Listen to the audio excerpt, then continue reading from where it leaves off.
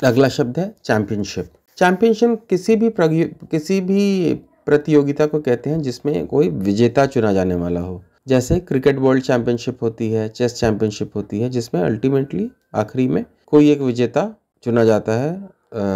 तो मुझे आशा आपको चैंपियनशिप समझ में आया होगा। चैंपियनशिप वैसे कॉमन वर्ड है बहुत ज़्यादा, पर कभी कभी लोग थोड़ा कंफ्यूज जाते हैं, अगर एग्जैक्ट डेफिनेशन पूछ दिया गया तो। तो मुझे आशा आपको चैंपियनशिप समझ में आया होगा। धन्यवाद।